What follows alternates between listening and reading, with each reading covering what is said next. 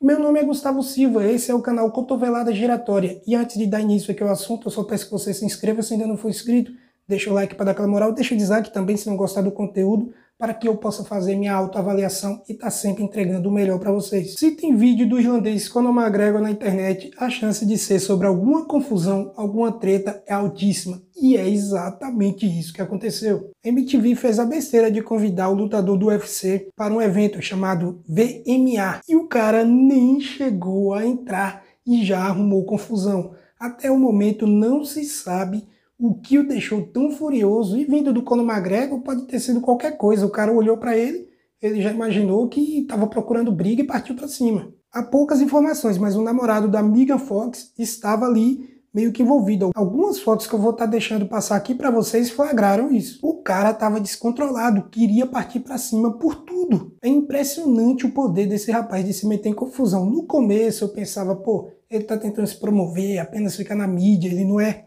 retardado assim não. Mas o tempo vai passando, ele vai fazendo confusões cada vez mais bizarras e, pô, cheguei à conclusão de que ele tem um parafuso, uns 38 parafusos a menos. Já tirou carrinho em ônibus procurando atingir o Habib no Magomedov e fez cair quatro lutas em um evento do UFC. Já enfiou a mão em um idoso no bar. Já invadiu um queijo do Bellator. Várias confusões regadas a drogas aí dentro do seu iate. Acusado de agredir mulher. Acusado de estupro vocês sabem o que, que eu quero dizer. Apesar de não haver nenhuma prova concreta contra ele, por vindo do Conor, não dá para duvidar de nada. Esse é um exemplo claro de como você pode jogar todo o seu talento na lata do lixo se você não for uma pessoa cabeça, uma pessoa que saiba gerir sua própria vida e saiba lidar com a fama e o dinheiro repentino. Felizmente, o Conor McGregor é um daqueles casos que a gente vai estar sempre pensando, pô, se esse cara levasse mais a sério a sua vida esportiva, a sua vida profissional e fosse uma pessoa mais centrada e com menos confusões, teria ido muito mais longe